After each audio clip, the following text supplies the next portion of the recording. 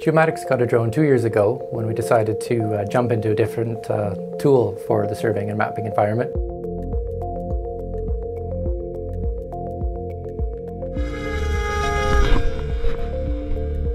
There's a lot of safety risks inherent to manned aircraft collection. It's very expensive. So unmanned aircraft is a, a natural progression into doing a lot of the capture ourselves. There's a lot of advantages to using a drone to do survey capture or mapping capture. It can get very fast data capture. We can cover much larger areas than we can with a traditional ground survey in the same amount of time. It's got automated flight control, so you launch it in the air and it'll actually fly a mission.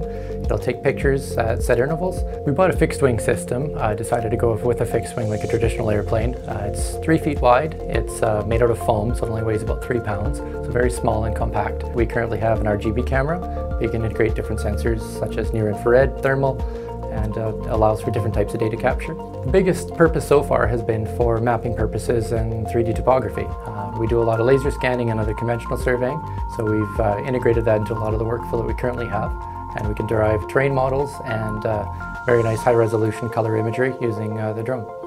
We're looking at other ways of using drones within other disciplines at Stantec. Uh, we've set up a couple of groups within Stantec to look at applying technology to the environmental service field, mining, oil and gas. Everybody has data collection needs, so with unmanned aircraft, it allows us to capture data more cost effective for our clients and for a variety of applications.